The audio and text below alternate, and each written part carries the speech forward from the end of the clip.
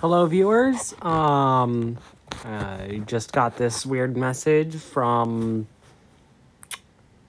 uh this site. I was looking for something, and this popped up and got intercepted. Now, this is obviously a scam because if I let's do do one thing. Look, this is just a photo. I don't think that would be a photo if it was Apple. Um, your Mac is infected with three viruses. I'm not on a Mac. I'm on an iPad. Idiot. Um, immediate removal required. Oh, and then I do this, I tap this scan thing because it can't access my system files because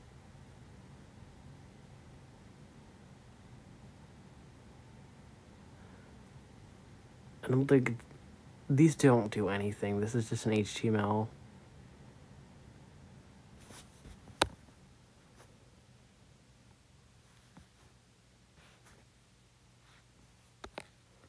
What are these file paths?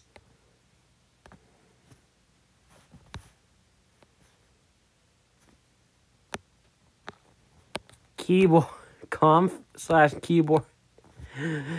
Good luck even. What is this? Probably something that won't even work. So I need to report this to McAfee.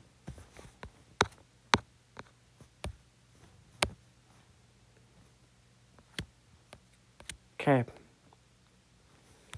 But anyway, if you see this, this probably might lead to a. I think I'm thinking this might lead to a scam. Because this is this is obviously fake. Um, you can tell it's fake. Um, like for example, if I refresh this, the counter starts over. See, watch. That's obviously fake.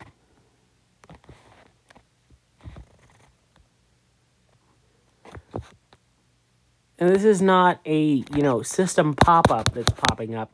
This is just a Safari thing that, you know, with those apps that have, with those websites that have pop-ups with like login pages and that stuff. This is what this is. This is not a system level pop-up. So, it's at openplugin.com. Um, yeah. So watch out for this. Thank you.